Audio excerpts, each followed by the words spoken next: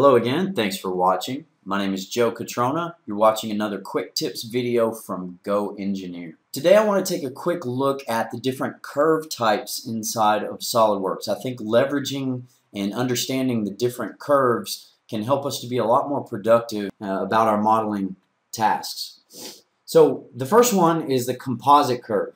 Now let's say you have this random shape and you need to create some type of bracket. Uh, you could obviously do this with a 3D sketch and then loft along that one path. Uh, however, it may be easier just to create it in two, three different sketches. Um, so that's where the composite curve comes in. Now we know that a sweep will not follow multiple sketches. If these were three different sketches as they are now, a swept uh, profile will not follow those. So let's take a look at the composite curve. If I go ahead and join all three of these different sketches, they become this one composite curve swallowed up by the feature. At that point, I can go ahead and choose a single profile, although it may be parallel to one of these portions of the path, it will still follow that path. SOLIDWORKS figures that out for us. Now another example of a curve that you may not use too often, if I just back this up, is the curve through reference points.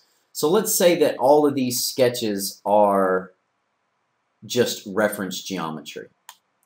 So maybe I've just utilized some line work to create some reference points out there in space.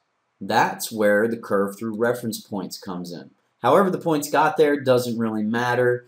SOLIDWORKS is just going to allow you to pick in kind of this uh, chronological order what points you want the curve to follow.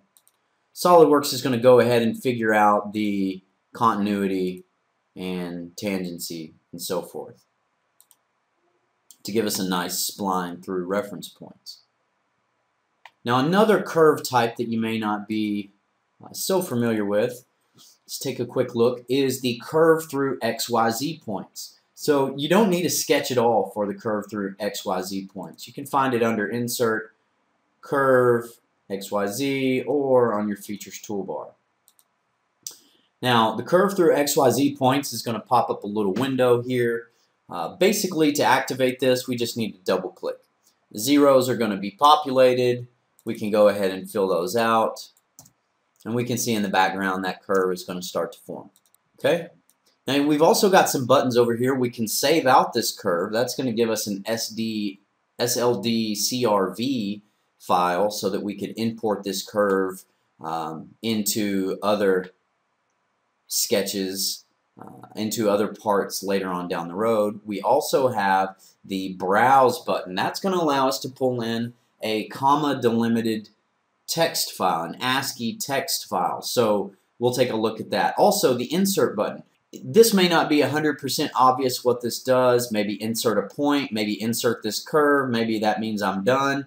Uh, what that actually means is to insert a row, similar to what you would do in Excel. Okay, so we'll go ahead and cancel that for the time being, and I just happen to have a comma delimited text file on my desktop. So there you can browse for two different types, a previously uh, created SOLIDWORKS curve or a text file. I'll go ahead and accept that and say OK. Should have a curve somewhere there uh, based on those points. One last curve that we'll take a look at is the helix. You're probably aware of the helix. Uh, in order to create a helix, you first need a circle. The diameter of a helix is based upon a simple circle. So we'll start with a circle here on the top plane, then activate the helix command. SOLIDWORKS does a great job of assuming uh, that circle that I just created is the circle I want to base this helix off of.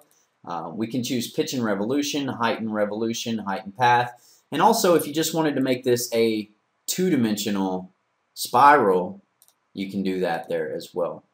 As you adjust the revolutions, uh, the different parameters, the preview is going to update. So some nice tools under the curves drop down here.